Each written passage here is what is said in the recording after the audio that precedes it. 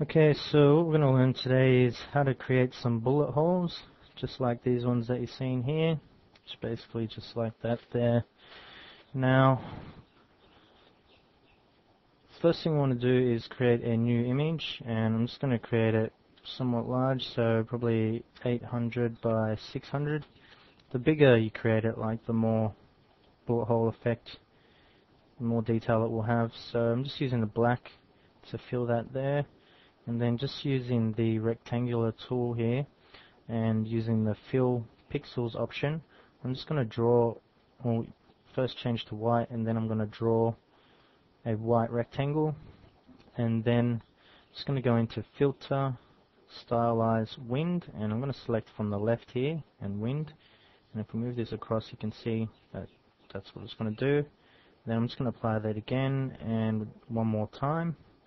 And now what I'm going to do is go into image, rotate canvas 90 degrees clockwise, so it puts it at the top there.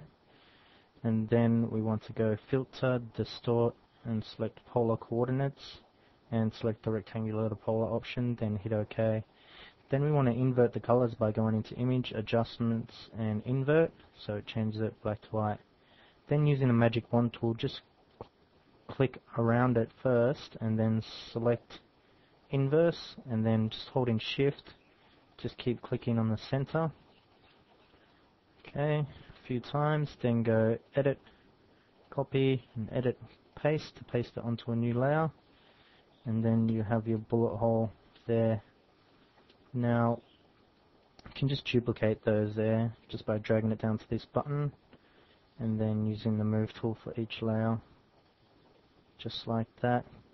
Now, to add a bit more effect, you can go into the blending options and give it a inner shadow, so it looks like it's sort of peeled away, chipped away type thing. Um, so it just makes it a bit more realistic. Now, that's basically it. Uh, I hope this has been a help to you, and thanks for watching.